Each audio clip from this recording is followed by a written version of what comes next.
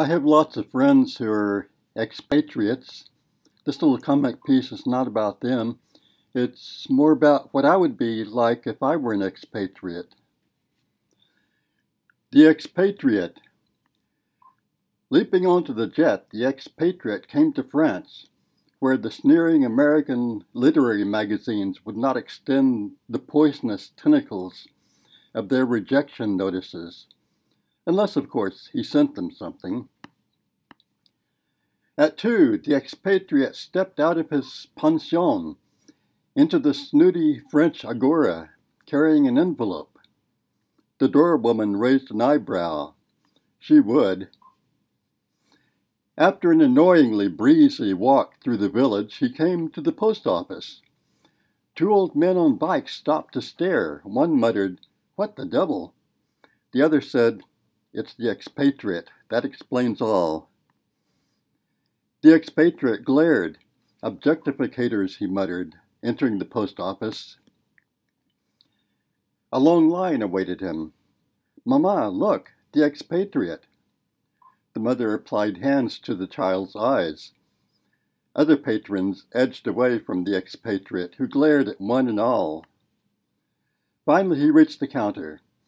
I wish, please, to purchase, how do you say, mailage, postage, whatever, and then to mail the envelope.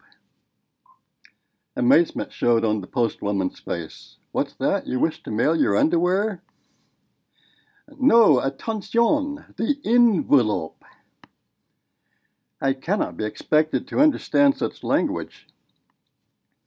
The envelope, the envelope, the envelope. While waving the envelope, and jumping up and down, the expatriate noticed that he was nude. The cabal, the poison. Sacred Azure, they're here, he said, assuming he was still speaking French. He used the envelope to cover his Etats-Unis as he crab walked toward the door where a policeman waited to assist him. Oh, you Indiana reviews, you Atlantics, you, you haven't published geniuses like me in 20 years. Did you like your trip to France? Rejecting me must be the most delightful of drugs to you, you Paris reviews. At his pension, where he surprised the doorwoman with his attire, a blanket loaned by the police, he discovered that mail had arrived marked with the names of prestigious U.S. literary journals, it was not really mail. It was snakes, spiders, madness. The expatriate's next destination would be Japan. He had secretly begun practicing tea ceremonies.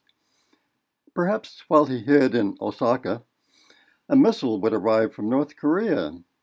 He would welcome it, so long as it did not pop open above the city, spilling letters from prestigious U.S. literary journals, rejoicing at the opportunity of having read his moving and excellent poem, but explaining that it was not a good fit for issue 37, 38, or 39. A moment later, the doorwoman was astonished to see a human jackrabbit with a suitcase exiting the front door and heading for the airport.